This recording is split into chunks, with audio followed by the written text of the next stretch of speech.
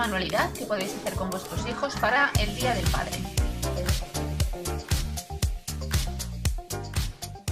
Hoy hacemos nuestra propia cafetera reciclando botellas de plástico. Vamos a necesitar dos botellas de plástico de 2 litros.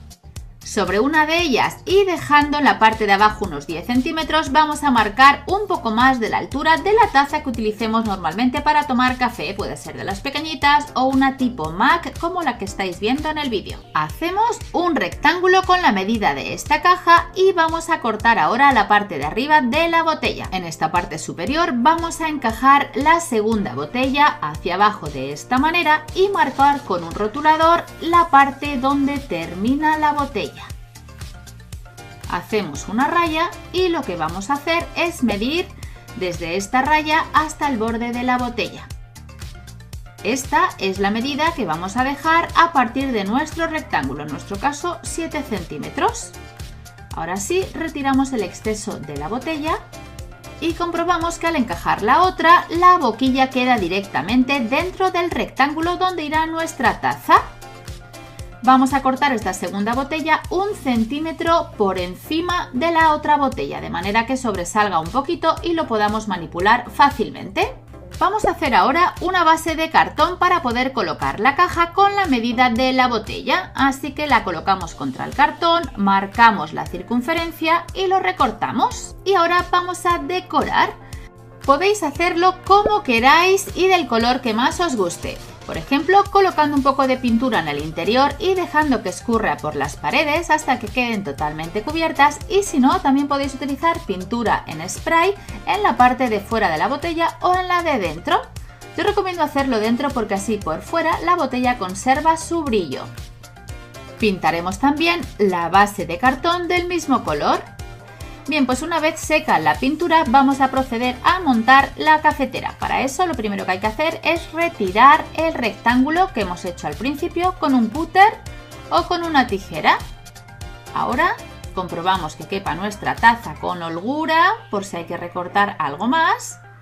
Y vamos a colocar la base para apoyar la taza. Lo haremos por dentro con un poco de silicona en la base de la botella metemos nuestro cartoncito y damos unos retoquitos de pintura para que no se noten las juntas o por si se nos ha saltado un poquito en el proceso. Para decorarla un poco más y que quede más bonita, vamos a poner un borde de goma eva de color blanco en la parte que hará de filtro, pegándolo con silicona. Vamos a hacer esto también en la parte de arriba de la cafetera y en el rectángulo que hemos recortado para colocar la taza. Y ya está, aquí la tenemos lista para utilizar. Colocaríamos nuestro embudito o filtro en la parte de arriba de la cafetera. La colocamos de pie con una taza dentro y colocamos también un filtro de papel. Dentro, pues nuestro café, las hojas de té o la infusión que os queráis hacer, añadimos el agua hirviendo y esperamos a que se filtre nuestro rico café en la taza que hay debajo. Hola, ¿qué tal? Hoy vamos a hacer unos pastilleros gigantes en forma de pastillas. Así que para empezar utilizaremos una cajita redonda, esta ya viene con divisiones, pero si no las podéis hacer con unos cartoncitos y vamos a forrarla con masa elástica para que parezca una pastilla de verdad. Nosotros vamos a hacer esta pastilla gigante redonda de color rojo. Así que forramos ambas partes de la caja y alisamos bien con las manos para que no quede ninguna grieta y recortamos el excedente con unas tijeras. Ya sabéis que la masa elástica o pasta flexible seca al aire, así que no necesitáis hornearlo. Y ahora para darle más realismo, con una brocheta o un palito vamos a hacerle un surco en el medio para que parezca realmente una pastilla gigante. Y listo nuestro primer pastillero, en este caso en forma de píldora. Para eso vamos a utilizar una pequeña botellita, masa elástica y film o papel de cocina o plástico de cocina para proteger la botella y que no se pegue la masa elástica. Así que la forramos bien y vamos a cubrir la parte de abajo de la botella con la masa elástica del color que más nos guste, más o menos 3 cuartos de la botella. Le damos forma y retiramos el plástico para poder separar la botella de la masa elástica. Veréis que sale muy fácilmente. Pues dejamos esta formita aquí a un lado y vamos a hacer el otro lado de la píldora y para ello forramos de nuevo la botellita y en este caso forramos la parte de arriba con un color que contraste bien, por ejemplo el blanco o el amarillo si hemos forrado de rojo la parte de abajo. En este lado es donde quedará el tapón de la botella y en el otro lado la base. Vamos a recortar los bordes para que encajen bien el uno con el otro y quede perfecto, bien recto. Y veis, en un lado colocamos el tapón y en el otro lado colocamos la base. De esta manera parece una píldora y cuando desenroscamos se puede utilizar perfectamente. Hola, vamos a hacer esta manualidad que podéis hacer con vuestros hijos para el Día del Padre. Lo primero que vamos a hacer es coger un papel de color y doblarlo por la mitad y dibujar la silueta de nuestra mano, la de vuestros hijos, encima.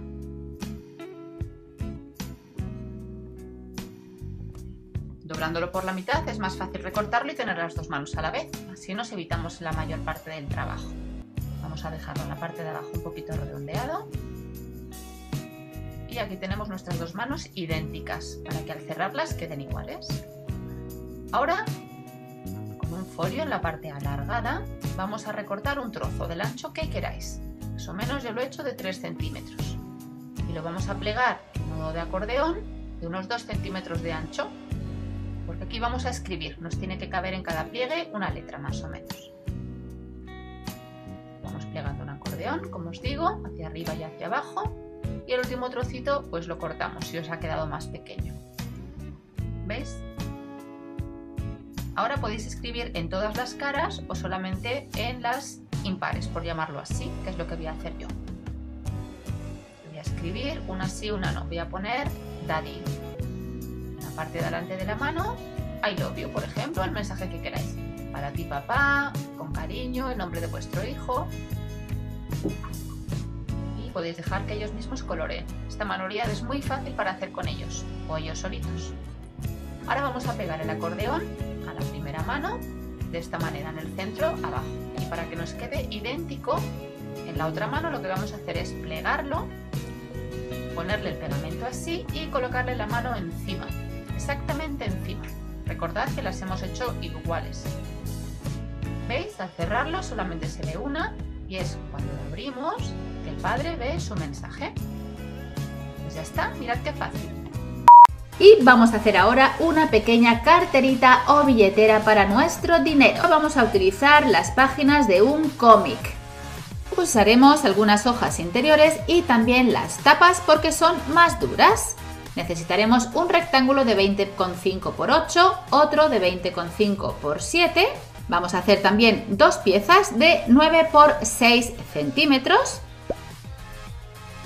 y una pieza de 9 por 5,5 centímetros y finalmente una de 9 por 6 con el rectángulo del centro recortado. Bien, pues empezamos con la plantilla número 1 y la marcamos sobre las tapas de nuestro cómic o sobre un papel rígido. El resto de piezas las marcamos sobre papel. Vamos a forrar la tapa, la primera pieza, con forro adhesivo transparente para dejar protegida nuestra carterita. También forraremos la pieza que tenía el rectángulo recortado del centro para que ejerza de ventanita. Ahora vamos a colocar todas las piezas sobre el interior de las tapas de mayor a menor, de manera que las piezas más pequeñas quedan en la parte de arriba. La última pieza es la que tiene la ventanita. Ahora vamos a unirlas todas por los laterales con cinta adhesiva transparente.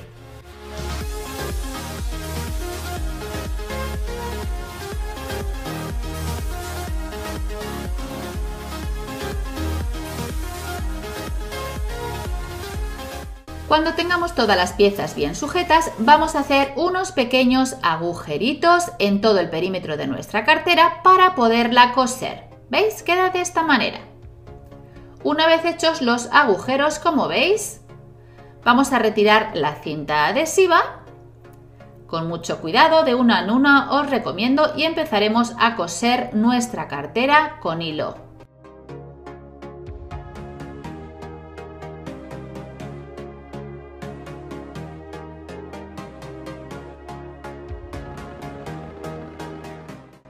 Después de un ratito, mirad, ya la tenemos lista. Por supuesto es opcional lo de la costura y el pespunteado, lo podéis dejar con la cinta adhesiva. Y si queréis, finalmente le podéis agregar unos pequeños detalles añadiendo solapas con más papel de cómic. y ya la tendríamos lista para utilizar o para regalar. Es un bonito regalo de reciclaje.